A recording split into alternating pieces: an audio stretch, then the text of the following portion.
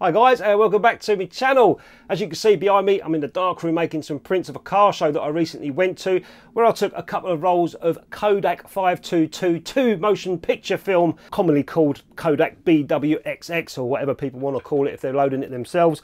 And I wanted to see how that film performed in this recommended developer D96 and also the recommended developer uh, fixer, sorry, BWXF5. What's up with all these names? Jeez, just call them something simple. Fixer, developer, give it a simple name. What's with all the numbers and letters? Drives me up the wall. I'll let the video run. So in this video, I went to a classic British car show on a bright sunny day to try out Kodak 5222 motion picture film, better known as Kodak Double X. Not only that, I wanted to see what all the fuss was with using the recommended developer D96. Whilst I was there, I saw an enthusiast taking pictures on his camera phone, I'll show you those later, and another enthusiast that likes to shoot exclusively on Polaroid. And a quick interview with Ben is coming up soon. Dave B was singing away whilst I was waiting for the bar to open, which never did, and Chris recognised me from the channel and we had a good chat about film photography. And I also got light leaks, lovely jubbly. The gear I took was a Nikon FM3A 35mm film camera, a Zeiss Milvus f1.4 50mm lens, a Nikon 85mm 1.8 lens and a Nikon Micro 55mm 1.8 lens.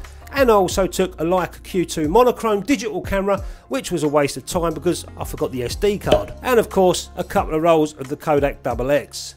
And I forgot to mention I've already got a 28mm lens on the camera ready to go. That is what I intend to use mostly. Now this show was all about the Morris Minor, a classic British motor car, and there was many there to photograph and test out this film and developer with on this bright sunny day. And that bar in the background never did open.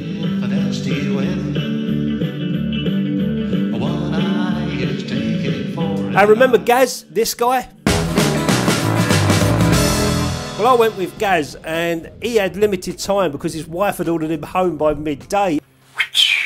Oh, he's so under the thumb, his guys. And although I gave him a film camera a while back, he just loves to use that Poxy camera phone. But he did get some awesome compositions out of it, which I'll show you later. And Gaz also held my diffuser a few times, which was a bonus. So, what is Kodak Double X? So, if you don't know what Kodak Double X is, I'll quickly briefly explain it to you. Look, he's broke me out. Right, you owe me £10. So if you can imagine a black and white film so good that they used it in blockbuster cinematic movies such as The Lighthouse in 2019, Schindler's List in 1993, Raging Bull in 1980, Casino Royale in 2006 and recently new blockbuster film called Oppenheimer. Eastman Kodak 5222 film was introduced in 1959 and Alfred Hitchcock got straight on it with his Psycho in 1960.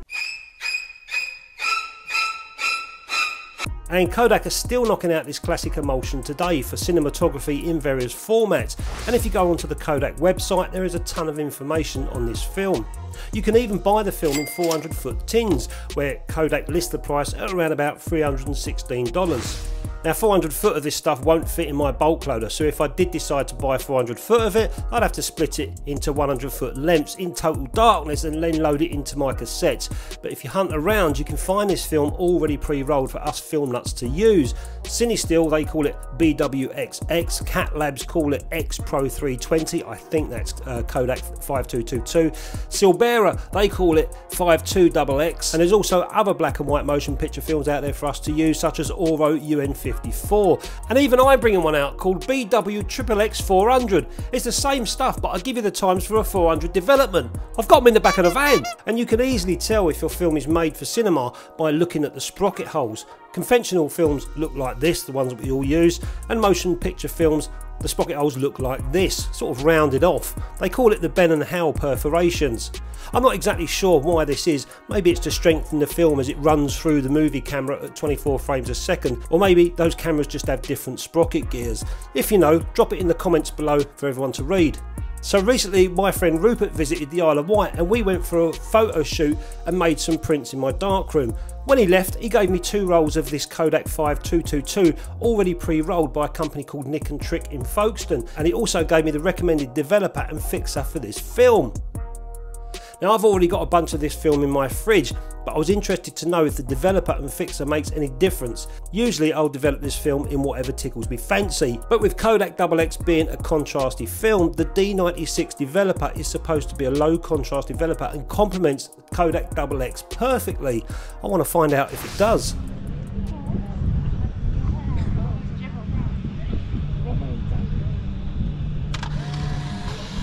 I got into photography in lockdown. Just thought I've been looking at screens for too long. Um, you know, doing nothing or looking at screens is pretty much what everyone got up to. And then I thought, well, analog photography might be good to get out and something that's not screens, get me out of the house doing stuff. But I didn't know how to develop film or where to go to get it. And I thought, well, actually, Polaroid does it all for you. So I thought, let's try it. I looked on eBay and there were cameras going for next to nothing. And I thought, well, there's my thing. So shocked at the price of the film, but once you get over that, you just kind of enjoy it and try and get, um, yeah, see what you can do with it. Then it's a bit of a learning curve as well. And you get eight shots out of that, right? Yes, one pack, eight shots. For about how much is a pack? Uh, it's 18.99 from Polaroid if you buy them there, plus delivery of about seven quid. And we complain about 35 millimeter film. So you'll get eight shots. What do you do with those eight shots uh, after today? What, what, are you doing with your Polaroids? Um, they'll go in a box somewhere at home. I've got like a small stash on the go. Um, the good ones, or the ones that I think are interesting, go up on Instagram.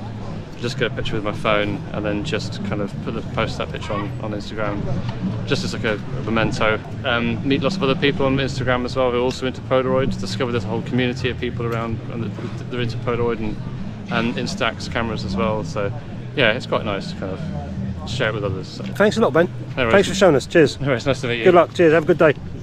So that was Ben that I met at the show, and what an interesting chap. He's got this project on the go that he shoots Polaroid, eight shots for 18.99 plus delivery. Um, we moan about 35 mil being expensive, but if you're dedicated to your hobby, that's what you want to do. He says he takes them home, puts them in a box, but he also puts them on his Instagram account as well, where he says there's a community of people doing the same sort of thing. And I think it's great that people have got these little projects and little hobbies, no matter how much it costs. If they enjoy it, they enjoy it, and that's what Ben enjoys. So uh, good luck to you, Ben. It was nice meeting you, mate. And on another note, if anybody coming away from the video now, guys, I've dropped my anti-Newton glass for my enlarger, fumbling around in the dark room during this video. Uh, it fits this Syrian, I can't ever pronounce these bloody names, Syrio neg, uh, negative carrier for Durst. I think it's about a 6x6 anti-Newton glass. If anyone's got one, drop me um, a message on DM or something uh, that I can buy off them because these are few and far between. I've broke mine, it just flattens the negs under the carrier, but this is broken now, so I can't use it. Let us know, guys. I'd appreciate it. Cheers. These were the D96 test shots that I took from the second roll. It's a contrasty scene showing some cushions next to window light and also another of my neighbour in the low evening sun. And they looked great developed in D96 stock for four and a half minutes at 21 degrees using my rotary processor.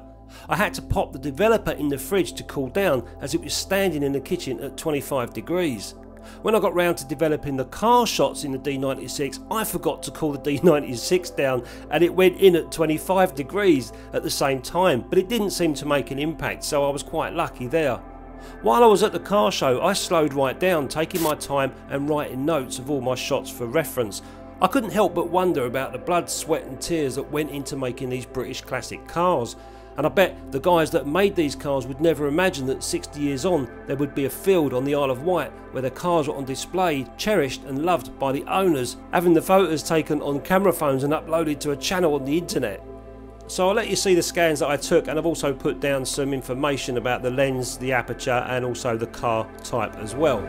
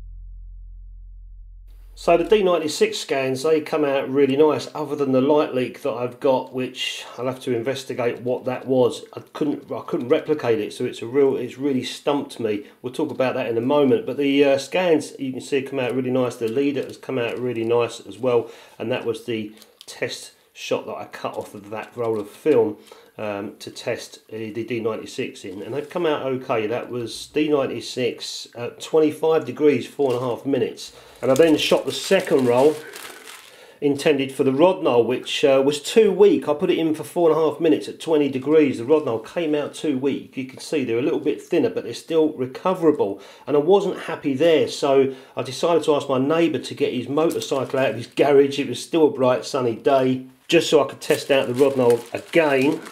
And these are the ones that I got this time for seven minutes in rod Rodinal, rotary processed at 20 degrees.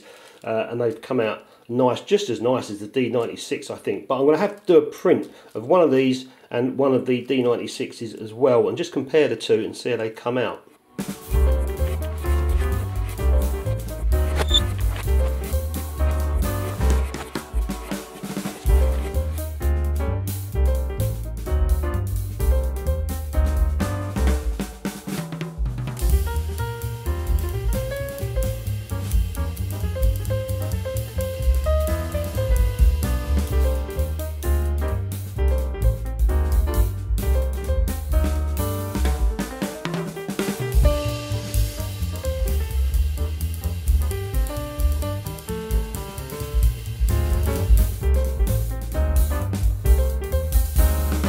So if you've never shot the Kodak Double X or Kodak 5222, whatever it is, um, before, grab a roll. It is a good, interesting film to shoot. And like I said at the start, it's good enough for Hollywood. It's good enough for us shooting stills with. And they recommend this is the D96 developer. This is from Bellini and also the Fixer, which is BWFX5. They call it again from Bellini. Um, the Fixer comes in two parts. So this has got 800 mil inside and there's another little additive that you pour in, which is 200 mil that makes up the um, one litre of Fixer um, but the developer is just one bottle and you use it as stock. What I've done is I've put, um, because I'm using that rotary process, I only need 200 millilitres of solution to develop any film. So I used the little fixer bottle, which was 200 mil. I put my stock solution, the developer in there, obviously washed it out. And I've put the rest of it inside this accordion bottle to keep it nice and preserved. So that will be fresh for probably about six months or so while I literally develop the shit out of this one. And when this passes by I can just switch it over and put some new fresh in. So that's what I've done there. That's why this is empty. But I wanted to see if we really did need to use this stuff. Online it says it's a lower contrast for this film lower contrast developer for this film. And I put it against Rodinal. And when I looked at both negatives under the enlarger using the magnifier the Rodinal I could see straight away produce more grain. That was at one part to 50 than the D96 and I must admit looking at the prints I think the D96 did beat the Rodinal on this film which surprised me so this is that Triumph Stag. That one came out quite nice. It was nice to try this film on a bright, contrasty day uh, with all the chrome, these little tiny spots of chrome and stuff highlighting out. They don't really bother me. Um, that prints come out really nice. And we've got the Ford Escort here. I do love these cars. I used to have one of these when I was younger, but not a zooped up version. And uh, just look at those black and whites. This, you know, this is a true black and white film. I love, I could have put a zero filter in there and made it less contrasty. I just love my prints when they're contrasty, hard hitting black and white. You know, that's why we're shooting black and white. We want to see black and whites. I've got mid-tones going on as well in the chromes and stuff, but that's a really nice print.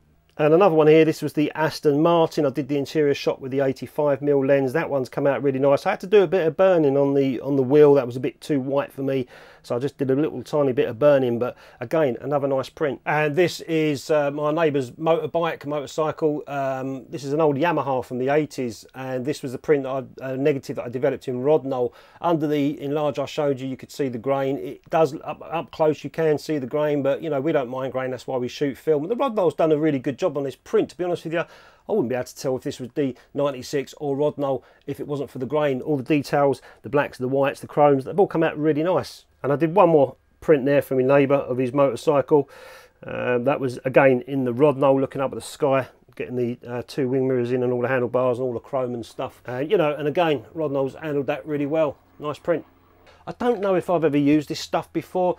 on the channel? I can't remember. Um, if I if I have, I don't I've tested it against anything else. Probably James Lane will be sitting there screaming, saying, "You've got to use pyro. You've got to use the pyro." But um, wait for James's comments to come in.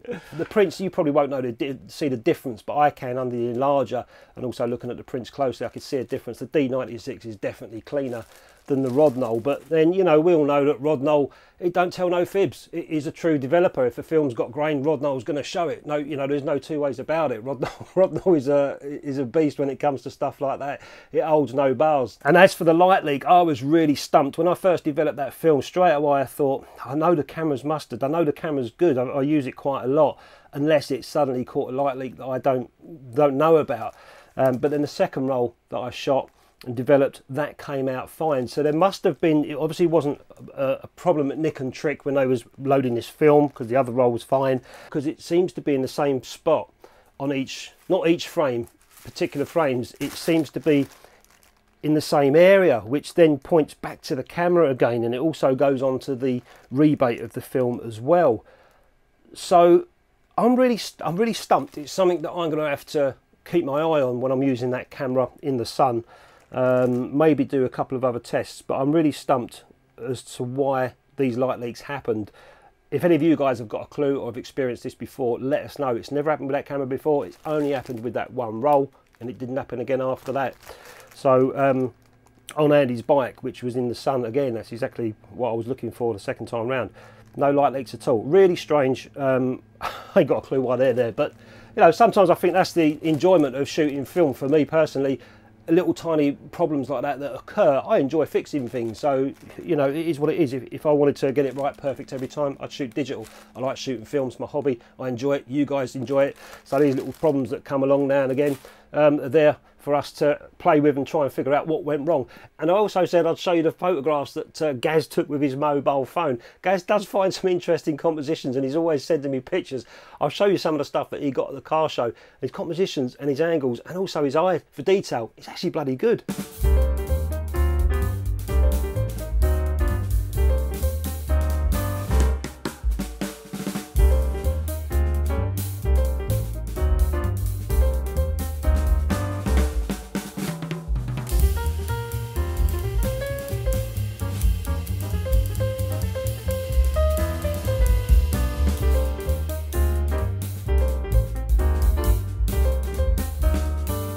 Anyway, guys, hope you enjoyed the video. If you've never tried that Kodak 5222 BWX or whatever, uh, give it a go. It's quite an interesting film. I think the D96 is probably out of the two a decent developer to use for it. Um, you know, have a little play to your heart's content and see what you think. I'll catch you next time.